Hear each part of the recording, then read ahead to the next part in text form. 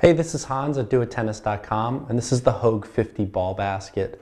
Obviously, by the name, it holds 50 balls total, uh, max 50 balls. Um, it does come in two colors. It does come in the red that you see right here, and it also comes in a silver.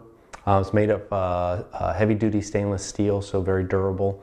Um, the Hoag name is, is known for durability.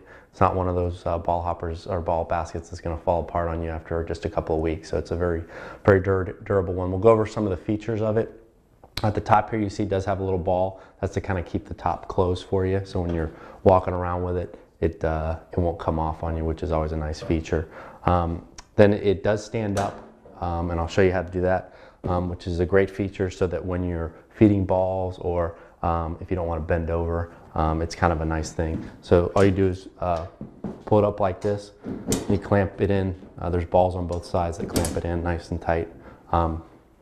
And then it's holding up nicely. So um, that allows you to, uh, to uh, not have to bend all the way down like I said earlier. So nice feature. It's also got a metal clamp at the top here that opens and closes um, the ball basket. And then this yellow part right here, this is a flexible um, piece that brings the balls in at the bottom when you're picking them up and holds them in there nice and firmly. So a great little ball basket that holds up to 50 balls. It's the Hoag 50 ball basket, comes in red and silver. Uh, this basket and a bunch of other court equipment can be found at doittennis.com.